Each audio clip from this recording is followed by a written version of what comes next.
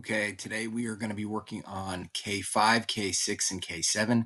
So this video is going to be about K5, solving one-step linear inequalities using multiplication and division.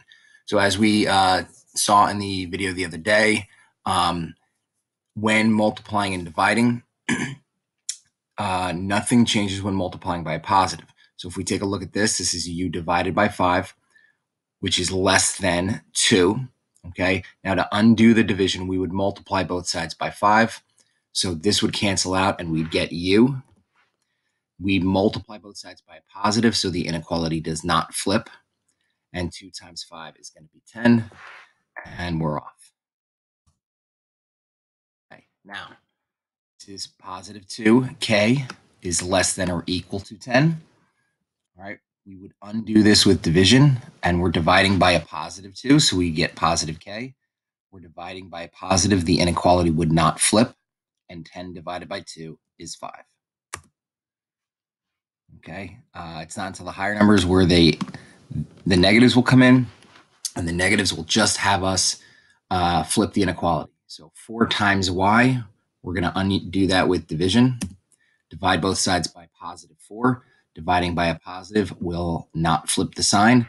8 divided by 4 is 2. All right, this is k divided by 5.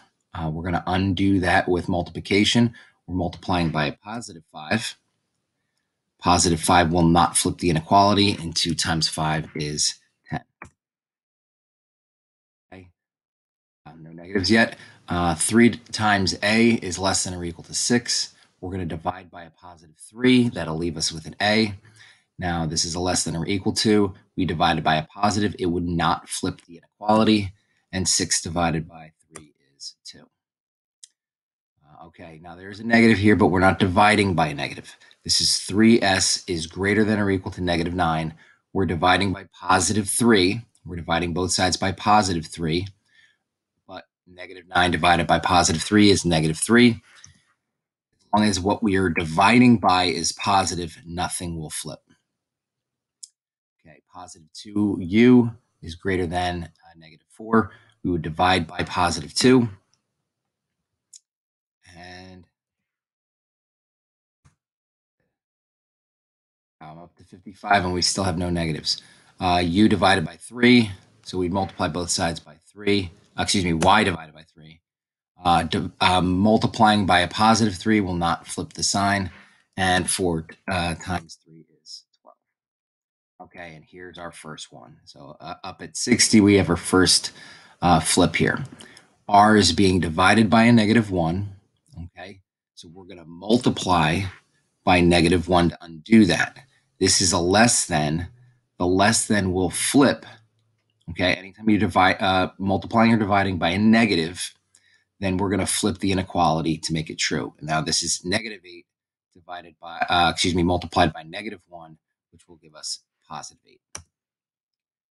Okay, again, negative 1b is less than or equal to uh, negative 9. We would divide both sides by negative 1. And that's going to give us positive b. This was a uh, less than or equal to, which will now flip to a greater than or equal to and negative 9 divided by negative 1 is positive 9. Okay, I think you guys got it.